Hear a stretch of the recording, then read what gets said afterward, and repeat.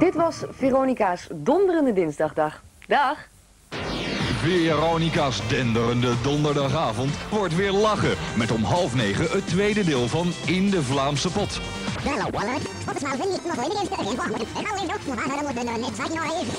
Nee hoor, zo snel willen we nou ook weer geen afscheid van u nemen.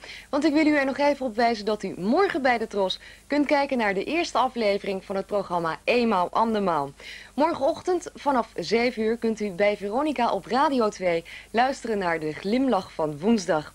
Welke programma's u donderdag bij Veronica kunt verwachten, hoort u nu nogmaals van Michael Pilazic. Wat mij betreft voor straks nog een goede nacht en tot donderdag. Veronica's denderende donderdagavond wordt weer lachen met om half negen het tweede deel van In de Vlaamse Pot. De relatie van Karel en Lucien zit een beetje in een sleur. Dat is ook duidelijk te merken aan Luciens kookkunsten. Totdat er een oude vlam van hem komt eten.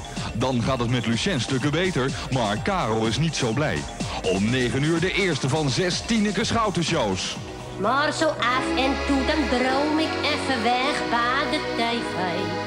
Of verslind ik al die boekjes van de story of privé. En dan raak ik als het ware in hypnose. Als het leven van een ster wordt uitgeplozen. Lachen om 9 uur met Tineke Schouten. Rond de klok van 10 actualiteiten in Nieuwslijn. En om tien over half elf L in de problemen in Married with Children. We besluiten de avond intrigerend, irriterend, illustrerend en interviewend.